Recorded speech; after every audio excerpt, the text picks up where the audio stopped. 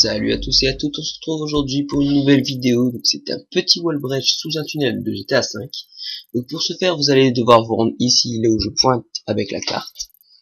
Donc exactement ici. Vous allez vous rendre sous le tunnel, là. Le wall n'est pas de moi, il est de Super Marjo, donc celui-là qui avait fait le ledge sur un W3. Donc big up à toi. Donc ensuite, vous allez devoir sauter à gauche de là où je tire des balles donc c'est simple. Donc là, Super Barjo va faire le code pour avoir les étoiles de police. Donc là, vous allez vous situer là, bien vous coller contre le mur et sauter. Là, il y a encore un mur, donc vous n'êtes pas encore vraiment dans le wall breach, il faudra re-sauter une fois. Là, c'est bon, vous êtes dans le wall breach. Merci d'avoir regardé la vidéo, merci à la GHFR s'il me upload, et n'hésitez pas à vous abonner, un j'aime, etc. Allez, tchuss